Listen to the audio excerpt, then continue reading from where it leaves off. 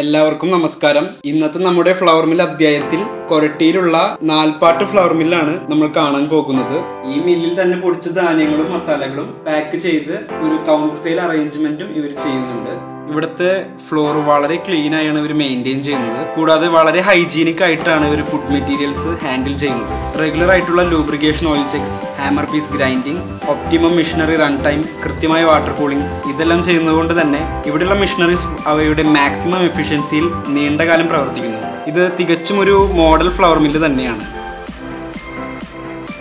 Pilot four twelve single സ്റ്റേജിൽ മണിക്കൂറിൽ നൂറ്റി ഇരുപത്തഞ്ച് കിലോഗ്രാം വീറ്റ് പ്രൊഡക്ഷൻ എടുക്കാൻ സാധിക്കുന്നു. ഡ്രൈ റൈസ് നൂറ്റി അമ്പത് കിലോയും വെറ്റ് റൈസ് മുന്നൂറ് കിലോ വരെയും ഈ മെഷീനിൽ എടുക്കാവുന്നതാണ്. ബാക്ക് ലോഡിംഗ് മോഡലാണ് ഇവിടെ നമ്മൾ പ്രിഫർ ചെയ്യുന്നത്. ഡിഫറൻസ് സീവ് സൈസസ് ആവശ്യമായി വരുന്ന വേരിയസ് ഫുഡ് പ്രോഡക്ട്സ് പൊടിക്കാനാണ് നമ്മളിത് റെക്കമെൻഡ് ചെയ്യുന്നത്.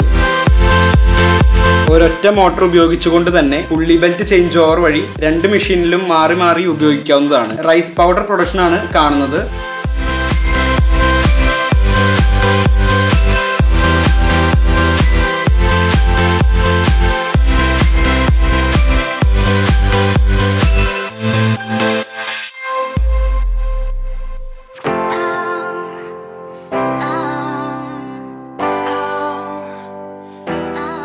അടുത്തതായി മല്ലിയുടെ പ്രൊഡക്ഷൻ ആണ് കാണിക്കുന്നത്. പൊതുവെ ഓയിൽ കണ്ടന്റ് കൂടുതലും പൗഡർ പാസ് ത്രൂ റേറ്റ് കുറവുള്ളതുമായ മല്ലിയും വളരെ ഫൈനായി തന്നെ നമുക്ക് പൈലറ്റ് പളറൈസേഴ്സിൽ പൊടിച്ചെടുക്കാവുന്നതാണ്.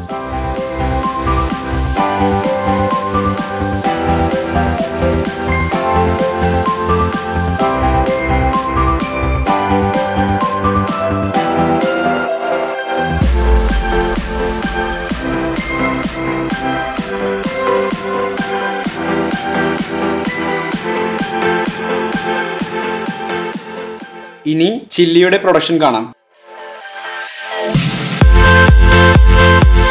ഹൈ ആർ പി എം ക്രഷിംഗിൽ ഹീറ്റ് ജനറേറ്റ് ചെയ്യാനുള്ള സ്പൈസസിന്റെ ബേസിക് പ്രോപ്പർട്ടി കാരണം ജാക്കറ്റഡ് വാട്ടർ കൂളിംഗ് പൾവറൈസേഴ്സിൽ അനിവാര്യമാണ്. ഫീഡിംഗ് ട്രേയിലെ slope construction uniform material feeding ഉറപ്പുവരുത്തുന്നു.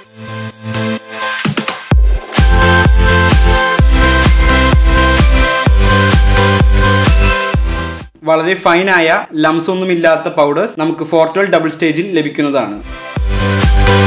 വളരെ അനായാസമായി തന്നെ സ്മൂത്ത് ചില്ലി പൗഡറും നമുക്ക് ലഭിക്കുന്നു.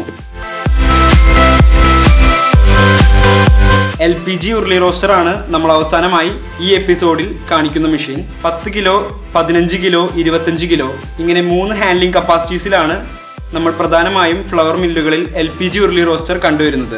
റവ സ്പൈസസ് പൾസസ് ആൻഡ് ഗ്രെയിൻസ് മുതലായവ വറുത്തെടുക്കാൻ വളരെ ഫലപ്രദം. റോസ്റ്റിംഗിന് ശേഷം പ്ലഞ്ചർ കോൺ റിലീസ് ചെയ്യുന്നത് വഴി സൈഡ് പൈപ്പിലൂടെ ഈസിയായി മെറ്റീരിയൽ ഡിസ്ചാർജ് കളക്ട് ചെയ്യാവുന്നതാണ്.